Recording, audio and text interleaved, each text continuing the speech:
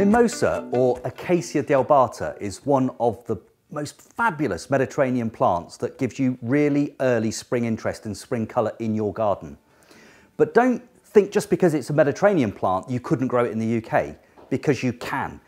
This is hardy to minus 5 degrees Celsius, so pretty much anywhere south of Birmingham in the UK, you're going to be able to keep this over winter, year in, year out, and it will grow completely successfully.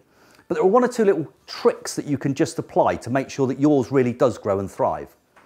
First of all, if you want to plant it in a sheltered spot, ideally south facing, that will really, really help it, particularly if it's being planted in the ground. The other thing is this likes free draining soil. So a lot of Mediterranean countries, particularly southern France and the, the northern Spanish uh, area, literally this is where you'll find this growing natively the ground is naturally very, very free draining. So to replicate that as best you can is really good. So if you plant it in the soil, incorporate plenty of grit if you haven't already got a very free draining soil. The other option is, of course, grow it in a pot. Now this will remain a beautifully compact plant that will give you these yellow powder puffs of flower each and every springtime between April and June. And the one thing I love about them is they're super fragrant as well.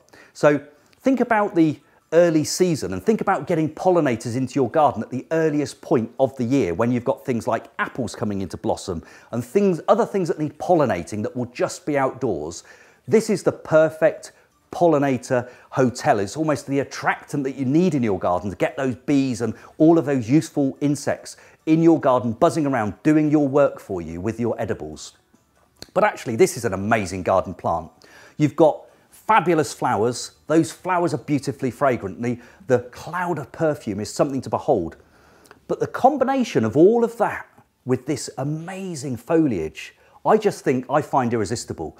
I don't think there's another tree that has foliage which is just as delicate looking and as amazing as this particular plant. So Mimosa or Acacia dealbata it's an absolute crowd pleaser. It's a beautiful addition to any garden and it allows you to bring a gorgeous piece of the Mediterranean to right here in the UK.